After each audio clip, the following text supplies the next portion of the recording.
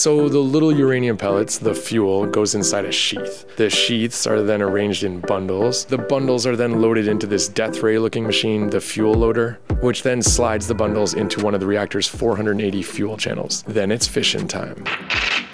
The bundles are bombarded by a barrage of billions of neutrons. The collisions unleash even more neutrons and, very importantly, a ton of heat as the uranium atoms fission into smaller elements. That heat is then absorbed by the pressurized heavy water being pumped through the reactor. The pressurized water has a much higher boiling point than regular water, which is key here because it allows it to transfer the heat to the regular water that is flowing through a separate channel, all without any direct contact. So the steam that is created by boiling that water is not radioactive. The pressure from the steam spins a massive turbine, which then in turn spins a generator. And a generator is just a giant magnet spinning inside a circle of a bunch of other magnets.